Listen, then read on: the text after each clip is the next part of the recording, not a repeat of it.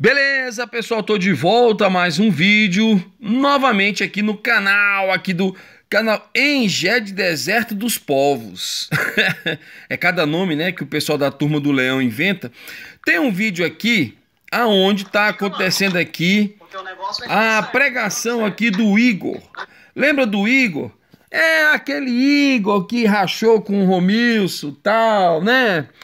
Falava muito do Romilson, aí brigou com o Romilson, aquele negócio todo. Ele tá falando uma coisa aqui, aqui ó, aos nove minutos mais ou menos aqui do vídeo, olha o que, que ele fala. Interessante aqui, ó, o que, que ele fala. Vamos lá. Tem que tirar essa poeira, esse fermento. Fermento. que tá na gente, que fermento? Tá na gente. Hum, e aí? A gente brilha, a gente sente a presença dele. Amém. A gente ofusca. As pessoas não conseguem, hum. infelizmente, conviver com a gente. Hum, e aí? Porque são estilos de vida diferentes. Estilo de vida diferente. Peraí, peraí, peraí. Mas muitos deles, irmãos. Não tem nada de estilo de vida diferente, não, Igor. O problema é que o senhor está torcendo a Bíblia, só prega Velho Testamento, não aceita a totalidade dos é, livros da Bíblia, né? Que diz que está com veneno da, da Babilônia, tá o fermento da Babilônia, blá blá blá. E aí tá ensinando o quê? Tá ensinando que as pessoas que não concordam com o estilo de vida de vocês estão perseguindo vocês ou não conseguem viver com vocês. Mentira, Igor. Mentira. Isso não existe, não. Deixa de ser mentiroso, tá?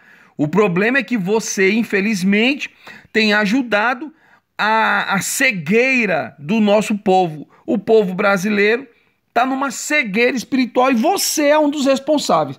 Continua aí, vamos ouvir aí não tem esse fermento tão forte. Às vezes é só ignorância. Hum. Às vezes. Tá. E Alch, ele não foi pregar para o povo que estava com os fermentos, né? Ele não foi pregar para o pessoal que estava fermentado. Hum. Ele foi pregar para as pessoas normais da vida, do cotidiano, né? Hum. As pessoas que se consideravam. E Alch não foi pregar para as pessoas especiais, né? E o que mais, Igor? Fazia questão de pregar para as pessoas que estavam com fermento. O fermento, fermento é a Bíblia. É, se concentrou nas que não tinham fermento. Né? Ah. Tá. Vamos Mas lá. Muitas pessoas eles ah. são evangélicos culturalmente, né? Por cultura. Ah. Estão ali, eles, eles, eles, eles erram, como todo ser humano erra. Ah. Né? Mas muitos têm um anseio, né? De agradar o pai. Talvez eles não tenham a, a mesma honra que ao dar, muitos. Desde conversa fiada, Igor, desde conversa fiada. O problema é que você fica ensinando, ensinando torto, é, é, é, é um evangelho torto. Mas vamos lá para onde eu quero. Aos 18, 19 minutos aqui do vídeo, olha o que, que esse abençoado vai falar. Apocalipse 12. E a levarei para o deserto. Deserto. Onde é o deserto? Brasil? O Brasil é o deserto. as suas vinhas hum. dali. Já viu minuciosamente. Hum. Circula a palavra vinhas, tá? Porque essas vinhas aqui é Laodiceia. Laodiceia. Ela vai aparecer aqui no Isaías 26, aqui na continuação, no versículo. No versículo Laodiceia. 2, Laodiceia é vocês, né? Hum, tá é bom. A mesma vinha. É a mesma coisa. E, uma mexição nesse cabelo é Ave então, Mari.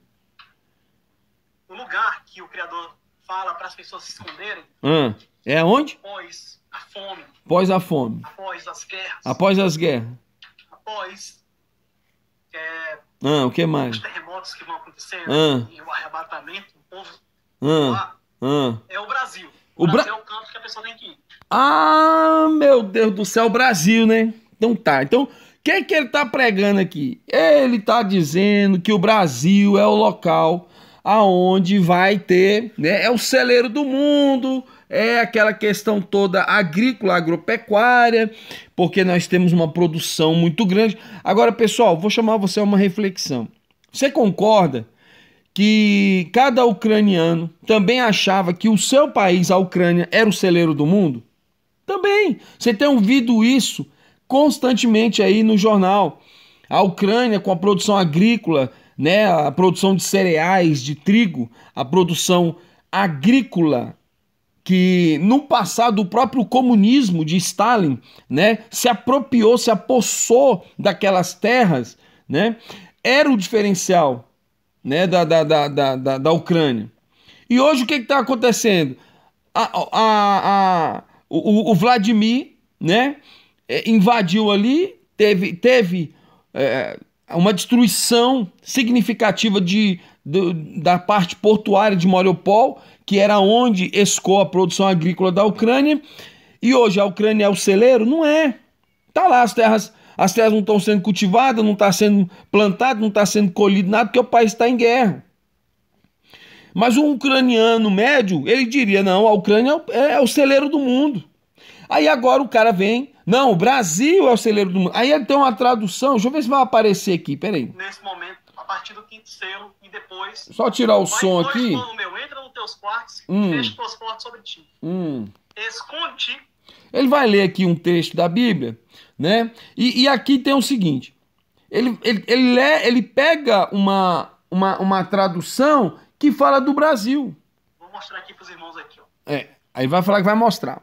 Vamos lá. Isaías, ainda, você pega aí, o capítulo 27, é o mesma, na, mesma, na mesma linha aqui, na mesma coluna da minha Bíblia, aqui, o capítulo 27 abaixo. Tá, vamos adiantar aqui para mim. Quem é que ele vai guardar? Quem é? Quem? Quem é que ele vai guardar? Quem? Quem? É a casa, é a, é a mulher. É a mulher. lá no deserto, no Brasil. Eu e ela guardo. Então, você tá vendo? Aí o cara faz vídeo dizendo que as pessoas estão, né? Ah, porque tá perseguindo a gente e tal, né? Tá, não, não, não tolera a gente. Não é isso não, é que o cara torce a Bíblia. Infelizmente o cara torce a Bíblia. Eu não sei de onde eles estão transmitindo, mas eles transmitem aí, direto, direto eles transmitem, ensinando essas, esses erros teológicos, ensinando esses erros né, de interpretação da Bíblia, de interpretação do hebraico, de interpretação gramatical, de erros de português. Eu trouxe o Sabino aqui no canal justamente para falar, ju justamente para falar sobre isso.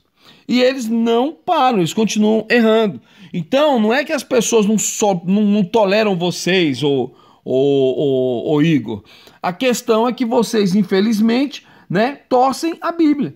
Vocês torcem a Bíblia, distorcem o Evangelho, vem com essa conversa fiada de que o, agora pronto, Brasil né? O Brasil vai, vai se acabar o mundo, o Brasil é o único lugar que, é, por causa da produção agrícola, é o celeiro do mundo. Tem uma tradição aqui, cara. Deixa eu ver aqui se eu acho aqui, ó. Tem uma hora que eles pegam aqui, faz uma. Deixa eu ver se tá aqui, cara. Eles fazem uma tradução, eles forçam uma, uma, uma, uma. Aqui, ó. Bem aqui, ó.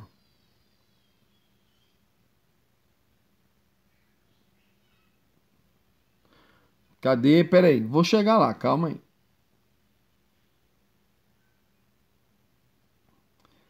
Aqui. Aqui, ó. Aí, ó.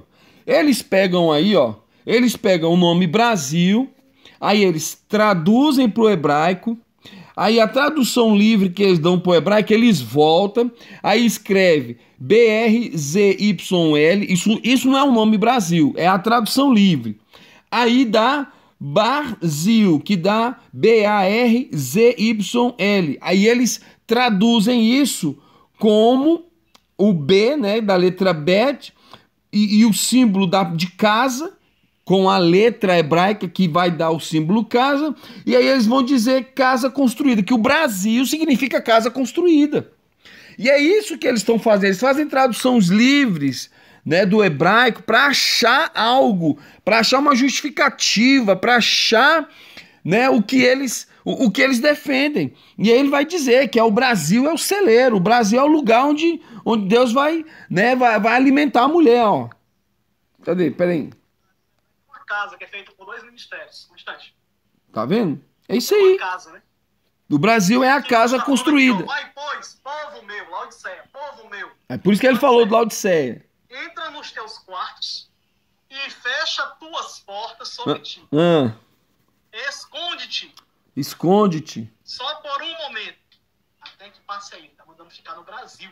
Tá vendo? Olha a loucura do cara. O cara pega um texto, ele pega um texto cristão milenar, né? E tá dizendo que texto de Isaías, né? E tá dizendo que é para se esconder no Brasil. E Laodiceia é quem? É ele, é o Zé Aldim, é, é o povo separado, que, que tá mais certo do que todo mundo. Não tem mais ninguém certo no mundo, não. Só eles. Está vendo? É erro atrás de erro que esse povo comete, pessoal. E acha que está inventando a roda. E acha que está fazendo alguma coisa certa. Esse é o problema desse povo. Entendeu? Então eles pegam esse erro aí de, de, de, de, de, tradução, você está vendo aí.